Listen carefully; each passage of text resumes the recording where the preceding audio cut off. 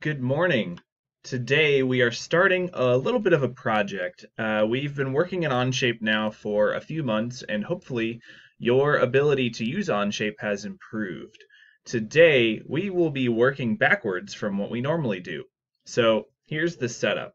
Let's suppose that I have bought a piece of furniture and uh, when I opened up the kit I realized that there was a part missing. So I called the factory and I said, hey, uh, I need you to send me this part. And they asked me to pay for shipping.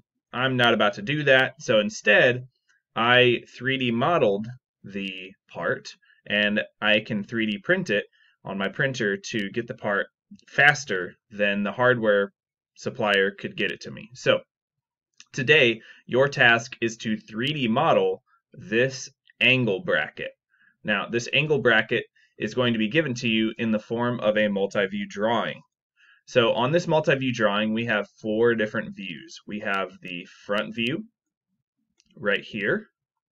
We have the top view, which is very similar. And we have the side view. Now, as you can see, this document is fully dimensioned, and it has all of the specifications that you will need in order to create this model. Now, in the end, it should end up looking like this, but I want to go through a couple of the details to make sure that you do this correctly. Now, I'm using holes here, and I will show you how to create a hole in Onshape in just a moment. Um, but I'm also using a fillet, and not only that, but I'm using two different fillets. So you'll notice on this interior cut here, I've got a 1.1 uh, 0.1 uh, inch fillet that I've applied. And on the other side, the exterior side, I've got a 0.2 inch fillet. Just to smooth that, that straight edge just a little bit. The other important thing is that all of these, uh, the bracket is an eighth of an inch thick, 0.125. And all of the dimensions are given here. So 0.813 is the overall width. 1.625 is the total height which by the way, um, 0.813 is half of the height. The holes here are the same dimensions uh, from from the top view, so it should be identical on the top plate and the and the vertical plate. So the bottom hole is a half inch from the bottom of the of the bracket, and the top hole is 0.375 away from the top, which is 3 eighths of an inch. All of the holes are 0.25 inch diameter holes, and they are through holes, which means they go all the way through. And for these holes, we're just going to use a simple hole. But again, it should end up looking like this. Those are the important dimensions that you will need. Again, the dimensions here are the same for, for the bottom plate and the top plate quarter inch holes that are through, half inch from the bottom, 3 eighths of an inch from the top.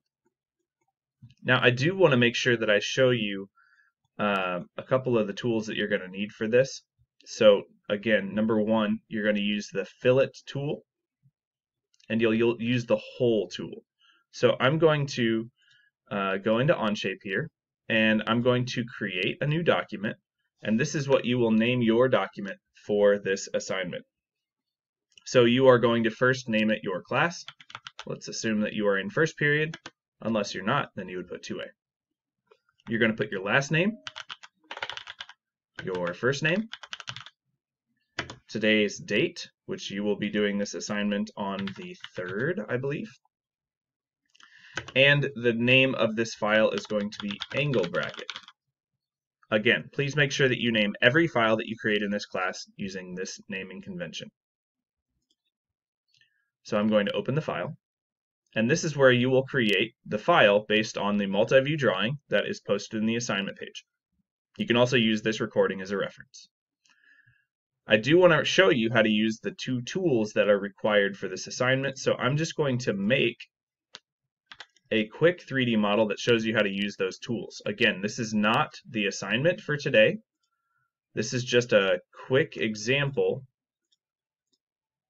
that I will use to show you each of the shapes. So here I've just made this rough rectangle here. So the first tool that you'll need is the fillet tool, which will be up here in your menu. It should be the cube with the rounded edge. So you just click on the shape that you want to apply that curve to. You can apply it to multiple faces at the same time if you want to.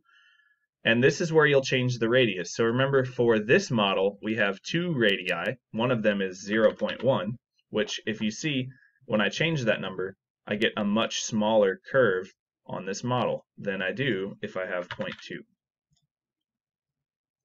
So that's how you use a fillet. And to use the hole tool, I'm going to create a new sketch on the top of this model. And I'm going to place circles on this diagram here. And I'm just going to put four of them and I'm going to make them all have a diameter of an inch. Again, we always want to make sure that our drawings are fully constrained, which means that we give them the proper rules and sizes in order for our sketch to be fully constrained. So let's make it so that this guy is an inch from there, and uh, and let's see. Nope, that's not what we want. I'm going to use a construction line. And sometimes we need to kind of use construction lines to in order for our dimensioning to work. So I'm going to make it so that the bottom, of the center of this is an inch away from my construction line, and I'm going to apply the same rules there to all of these. So this is an inch, and this is an inch, and this is an inch, and this is an inch. Same with this guy.